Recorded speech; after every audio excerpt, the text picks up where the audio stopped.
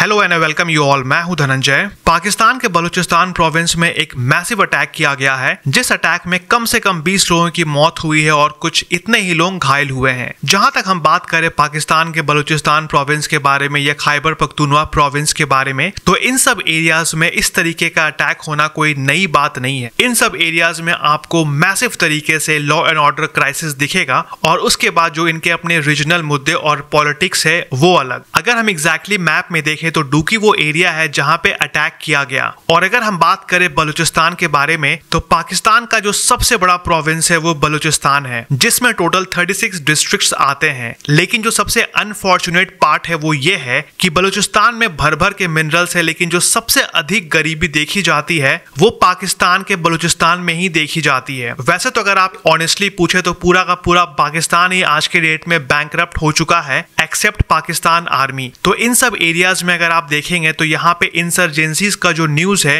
वो बहुत ही कॉमन हो चुका है। और साथ में जिनको नहीं मालूम है, उनको मैं बताना चाहता हूँ कि जिस तरीके से एक पंजाब भारत के पास है और दूसरा पंजाब पाकिस्तान के पास है, कुछ उस तरीके से ही बलूचिस्तान का भी है, जहाँ पे एक बलूचिस्तान तो पड़ जाता है पाकिस्तान में और दूसरा पड़ जाता है ईरान में। और अगर आप बात करें तो जो बलूचिस्तान ईरान में पड़ता है, उसका भी कुछ ऐसा ही हाल है, जैसा हाल पाकिस्तान के बलूचिस्तान का है। और बहुत सालों से जो बलूचिस्तान, ईरान के पास है और पाकिस्तान के पास है। इन पूरे एरियाज़ के जो लोग हैं, वो चाहते हैं कि उनका अपना एक इंडिपेंडेंट देश बने, जिसको कि हर तरीके से ईरान के द्वारा भी एक्सेप्ट नहीं किया जाता है और पाकिस्तान के द्वारा भी एक्सेप्ट नहीं किया जाता है। और खास करके अगर हम पाकिस्तान, बलूचिस्तान के बारे में बात करें तो यहाँ पे बहुत ही मैसिव तरीके से गवर्नमेंट ऑफ़ पाकिस्तान के द्वारा चाइना को इंफ्रास्ट्रक्चर डेवलपमेंट करने के लिए ज़मीन दिया गया। लेकिन वहाँ पे भी ये देखा गया कि जो रोज़गार था वो यहाँ के लोगों को नहीं मिला बल्कि चाइना अपने देश से ही वर्कर्स को लेके आया।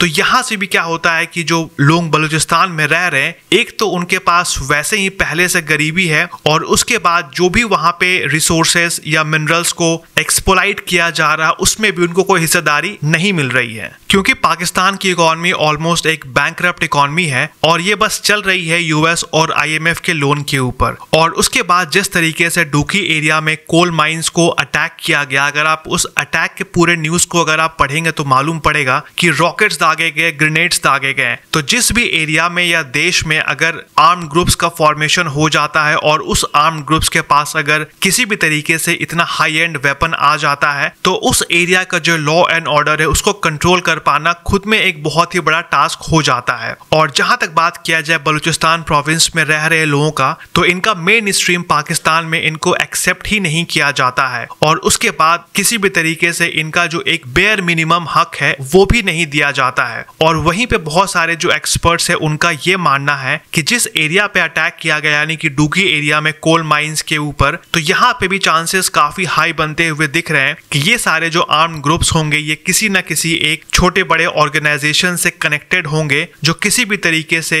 एक जो वसूली होता है, वो करने के लिए आए होंगे। बिकॉज़ ऑफ़ एनी रीजन वो कर नहीं पाए होंगे या नेगोशिएशन अच्छे से नहीं हुआ होगा तो इनको भी अपना पावर दिखाना था। जिस पावर को दिखाने के चलते ये मैसिव अटैक किया गया। उसके बाद अगर आप थोड़े बहुत आर्टिकल्स भी पढ़ेंगे, तब भी आपको समझ में आ जाएगा कि पाकिस्तान आज के डेट में अपने आप में कितना टूटा और बिखरा हुआ है। इसी साल के अगस्त के महीने में एक बस के ऊपर अटैक किया गया था। अटैक करने के पहले उस बस को रोका गया और जितने भी लोग पाकिस्तान के पंजाब से थे, उनको आइडेंटिफाई किया गया और उनको बहुत ही सिस्टमैटिक तरीके से मारा गया। तो यहाँ पे जो पंजाब प्रोविंस के लोगों को मारा गया, उसके पीछे का भी वजह यही था कि पूरे के पूरे पाकिस्तान के जो भी छोटे मोटे ऑर्गेनाइजेशन या बड़े ऑर्गेनाइजेशन है, वहाँ पे जो पंजाब प्रोविंस के लोग हैं, उनका आपको डोमिनेंस काफ़ी देखने को मिलता है। और साथ में जो पंजाब प्रोविंस के लोग थे, उनको तो मारा ही गया, लेकिन उनके साथ जो सोल्जर्स वगैरह थे, उनको भी मारा गया। तो कहने का मतलब है कि किसी भी तरीके से अगर बलूचिस्तान प्रोविंस में पाकिस्तान के किसी और अदर प्रोविंस के लोग वहाँ पे आते हैं तो उस चीज़ को वो किसी भी तरीके से एक्सेप्ट नहीं करते हैं। और क्योंकि जो पाकिस्तान का बलूचिस्तान बलूचिस्तान प्रोविंस है, उसका बॉर्डर लगता है ईरान के साथ तो बहुत हद तक वहाँ पे इलीगल ऑयल का